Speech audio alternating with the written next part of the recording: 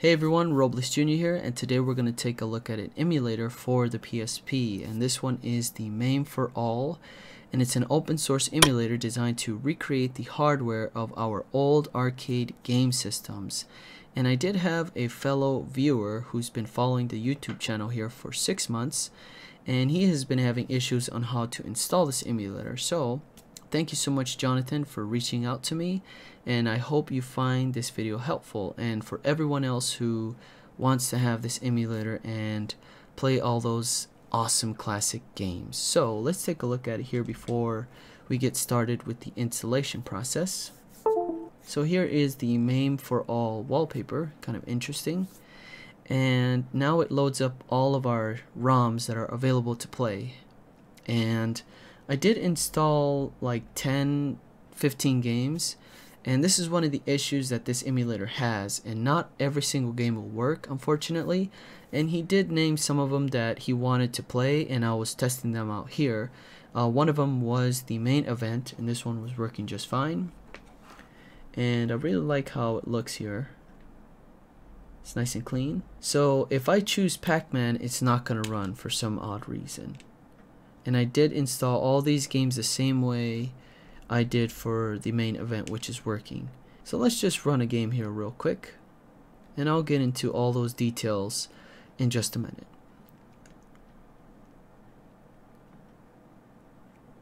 There it is it's running. Perfect. And there it is very interesting how this works. So it's just loading up here. Takes a little bit of time. There we go, now we can select our character. Let's choose this guy. And our tag team partner is going to be this other guy. So Saturn 6 and Conan the Great. And the analog does work. And yeah, it's looking like it's working just fine here. Alright, so let's get started. Before we connect to USB mode, I will show you my firmware real quick, just in case you have any questions about that. So I am running 6.61 Pro C Infinity 2.0, and this is a PSP 3000. So let's head on over to our USB connection and enable our USB mode. Alright, let's head on over to our desktop and click on the first link in the description down below. And that will take you to psx-place.com and here is MAME for all version 4.9 R2 released back in 2016 so it's not that old. And what you want to do is click on this big green button here that says download now. You don't want to click on the link here uh, I know a lot of people get confused and click on this link and think that's the uh, download link. But I did miss this the first time, that's why I'm mentioning it now. And you want to click on download now. And it's 1.7 megabytes. Perfect. Here's our zip folder. And what we want to do next is extract these files. So let's right click. And I will be using 7-zip program to extract my files. And if you don't have this program, I will leave a link in the description down below for you. And we are going to do extract here. That way we can pull the folder we need out of the main folder. There it is ready to go. We can delete the zip file. So open up your PSP USB drive and what we want to do is go into the PSP folder go into game. If you don't have categories plugin enabled you can just drag this into here and you're good to go for us who have the plugin, we're going to have to uh, throw it into one of our folders here, subfolder. And I have my emulators folder here, so we can just drag this into this folder. And we're good to go. And as far as the games go, guys, I will show you how I have these games installed. And for the most part, you want to leave them as uh, zip file. I did try to extract the files, and they were not working, unfortunately. So let's take a look here. Let's go open this up. And there's already a folder called ROM, so you can just use that. So here are my ROMs copied over. As you can see, most of them are in the zip file or zip folder. and they're not extracted.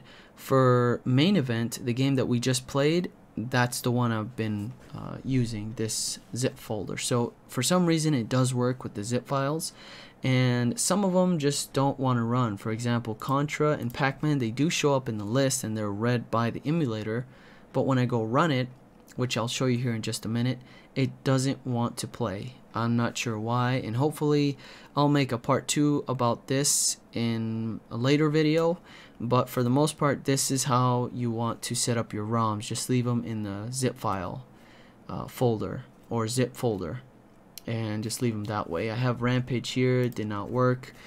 Uh, it could possibly be that some of these ROMs are just not fully functional, just, I don't know. There's so many different cases that could cause the game's not running, and I see a lot of people having those issues even with the Game Boy Advance emulator and the Super Nintendo emulator. So it just depends on the ROM at the end of the day. So, alright, so here we are back on our PSP, and we're to go check out that emulator here.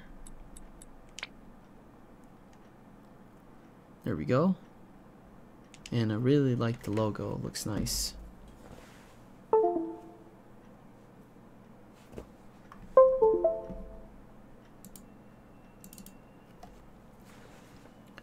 Now it does take some time for this emulator to run, so you're just gonna have to wait a little bit. Just reading all the files and making sure that the ROMs are properly installed or they're the correct ones.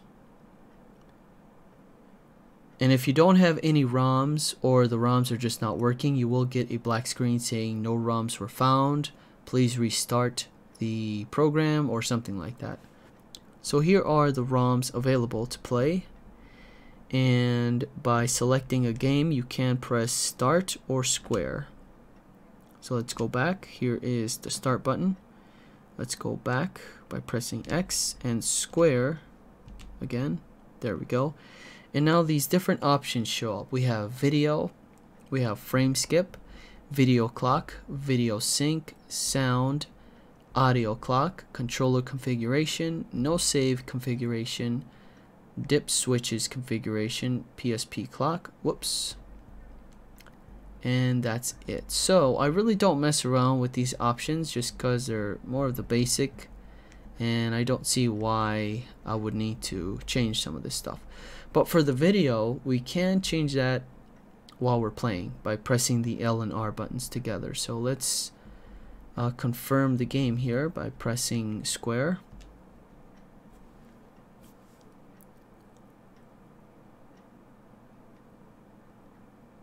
And now it's loading the ROM.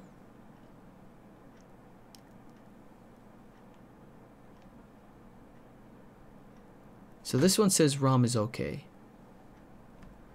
But I did test this one out before I made this video and it wasn't working. It just keeps going back and forth in loop. I thought it was working. You can see the uh, main screen here. It says insert coin and it just looks awful. And then it restarts again and I can't really play the game at all. And there's no way to go back to the main menu. So every single time you will hit the home button and restart the game. That's unfortunate about this emulator is that you will have to restart it every single time to play a new game. Which is not bad. It takes, depending on how fast you got going on with your PSP, like for mine, it will take some time because I am using an adapter and it, it takes a long time to read. It's it's a little it's a little sluggish. So let's go back in here and try another game. Alright, so let's try Pac-Man press square and now it says error reading ah, reading reading so now we have an error reading ROMs unable to initialize machine emulation load fail press square button. Let's go to Contra. Press square. And we have the same error going on here. Let's try main event. Press square square again. And out of all the 20 games I tested, this was the only one that worked. And I was like, I'm not going to make this video if none of these ROMs work. And so, luckily this one came in to save the day. There's the audio. There's our official ratings. The audio is a little bit off. I'll lower it here.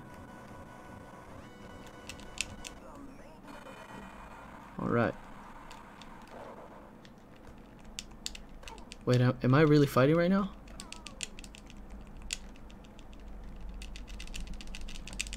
Oh yeah, I am fighting. It's interesting. Now if you press the L and R button together, you can change the scale of the video. You have a very tiny screen and then you have a much larger screen and you have the full screen which is a lot better and I'm gonna lose this freaking game here. Because I don't know what I'm doing. So I hope Jonathan that was helpful for you and you found some solution there with this video. And for all the enthusiasts of the arcade games you can finally play them on your PSP now. So I will cover more emulators here in the future if you have any recommendations, please comment down below or email me personally. Thank you so much for watching. I really do appreciate it. Any questions, comment down below. If you enjoyed it, give it a thumbs up. And if you haven't already subscribed, please subscribe to the channel and hit that notification bell so you don't miss a video in the future. Thank you so much for watching. Take care, and I'll see you guys on the next one.